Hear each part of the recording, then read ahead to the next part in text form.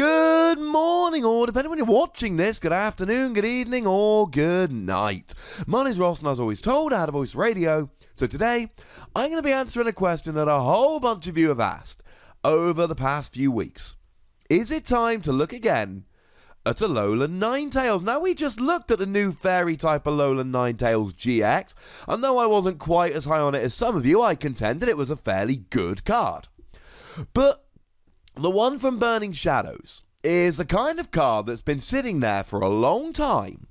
Looking super interesting. Now, 110 HP is low, there's no doubt about that and it only does 80 damage for free energy, though with a combination of both double colourless energy and aqua patch, you can actually get it going in one turn, or at least very, very quickly.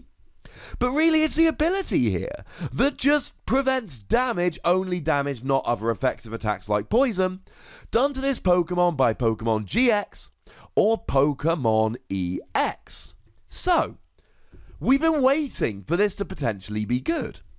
And it's got a lot of good things starting off. You've got Brooklet Hill to search out Alolan Vulpix, and then, of course, Alolan Vulpix is one of the best evolving basics we've got. It, for zero energy, allows you to search for two Pokemon and put them into your hand. The thing is, with a card like Alolan Ninetales, it doesn't have great HP. Doesn't do a great amount of damage. So essentially, if you can catch the format just right, in it comes to win the day, and it can be put into any water deck. You can play it with Alolan Ninetales GX, who's got a great GX attack for just a double colorless energy, which puts all the damage from it onto your opponent, i.e., they've got to one hit KO you. And it can put 50 anywhere for a double colorless energy and it does 160 for free energy, discarding two with a Choice Band, you're 190. That's KOing stuff like Buzzwole, and you can use Aqua Patch to get it rolling again. And of course, you can use double colorless here, so you can attach two water and a double colorless, discard it, and then just keep attaching and discarding a double colorless every turn, and that will pay the discard nicely. Or you could put it in an Empoleon deck, or to be blunt, you could put it into any water deck. But is it the right time for a card that's never really seen a huge amount of success? So what I did was I sat down and I started having a look at all the best decks at the moment, and I started digging through deck lists and really seeing what outs players have against this particular card. So if we take the number one deck at the moment, it's Zoroark. But then again, it depends what build of Zoroark you're actually playing. So if they're playing Zoroark with Garbodor, it's it's pretty much all over, to be perfectly honest with you. Because Garbodor turns off your ability so that anything can easily one hit KO you, like Zoroark. And even if they don't, they've still got the one from Guardians Rising, and as soon as you've played six item cards, they will be getting a one hit KO. And then, of course, you've got to go back to the fact that you're only doing 80 damage, and you won't be getting a one hit KO. Okay, so so that's not much good to be perfectly honest. But then again, Tord Reklev got second at the North American International Championships with a straight Zoroark list, and essentially his only option was Oranguru. Now, to be fair, it does do 60 damage and confusion, which will be two hit KOing you while putting confusion on, and you won't be one hit KOing Oranguru. But then again, they don't have Aqua Patch.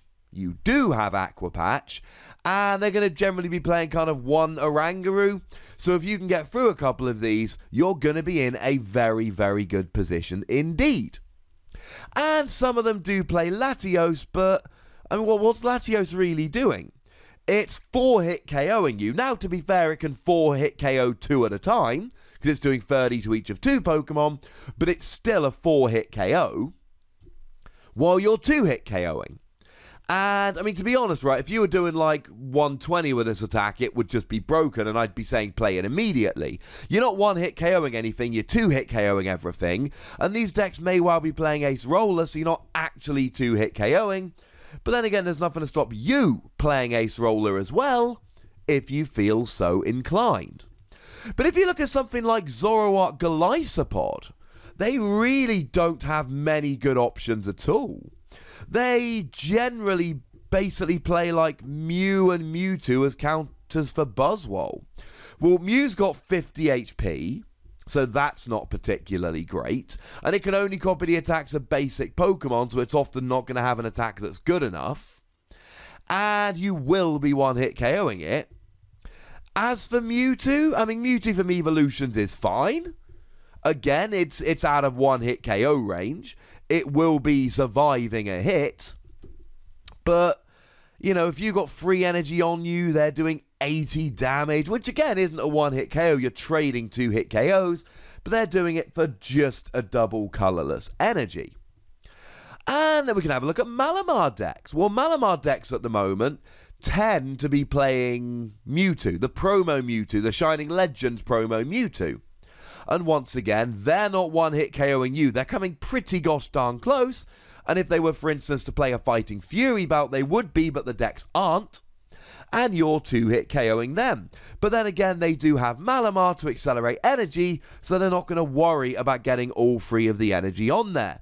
Although, as a side note, after rotation, when it comes out, people should be switching out for the new Giratina. And the new Giratina will one hit KO Alola Ninetales, which is a bit of a pain. But if they're not playing something like Mewtwo, all they've got is Malamar, who is also avoiding a one hit KO and is two hit KOing, but it's also their energy acceleration so they're going to miss it a lot more than you are. And if we have a look at, for instance, Adam Hawkins' list, with which he got top four at the North American International Championships, you've basically just got Malamar. Like that's that's pretty much your only option. Although is actually playing the Giratina promo, which it's expensive, no argument there but it will get a one hit KO. And then if we have a look at Buzzwole decks, for instance, generally speaking, although they may play the odd kind of Mew, for instance, in order to counter other Buzzwole, what we tend to see is they play the Buzzwole from Forbidden Light, the non GX. Now, if you've got four prizes remaining, your Alolan Ninetales goes down super easily to this. Otherwise, they've got to use Swing Around for free energy while adding 40 damage, and that could be a strong energy and a Diancie Prism Star, or it could be a Diancie Prism Star and a heads flip, for instance, or two heads flips, etc., etc. And they have, as always, got Beast Ring at the moment to get that energy out. So essentially, here, there are very few decks you're locking out of the game here but you are certainly annoying a lot. Malamar decks, they've got to go aggro with Giratina or Malamar, which, which is not ideal. Buzzwole decks, now some of them are actually going pretty heavy on the non GX Buzzwole, so they'll be alright. Ones that are playing one of the Forbidden Light Buzzwole, they might not be able to keep up here. Zoroark decks, if they're playing Garbodor, are going to be absolutely fine, but things like Zoroark Golisopod or just straight Zoroark are going to really struggle to be doing enough damage here.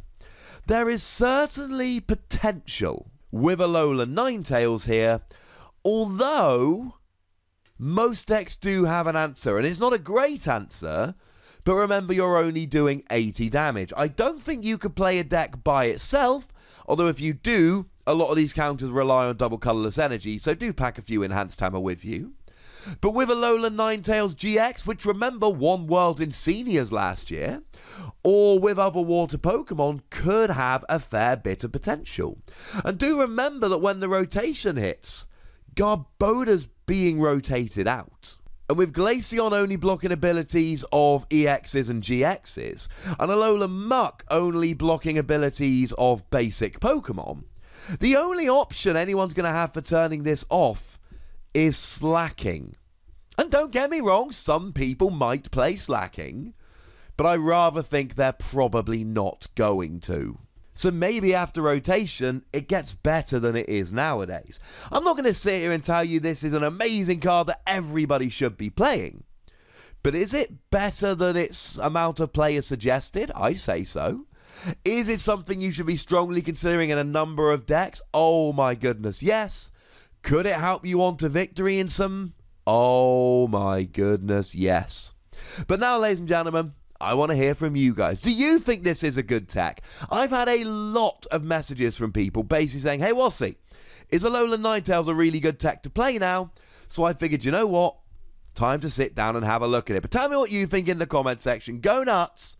Be nice. Make sure you like this video, subscribe to this channel, follow me on Twitter, Otherwasi, and Twitch for some live action at twitch.tv slash PTCG Radio. If you want to support the channel, get some bonus podcasts and all of that, head on over to patreon.com slash PTCG Radio, where you can do just that. But by far the most important thing, as always, is to look after yourselves until next time. Thank you very much for watching. My name's Ross, and you've been watching PTCG Radio.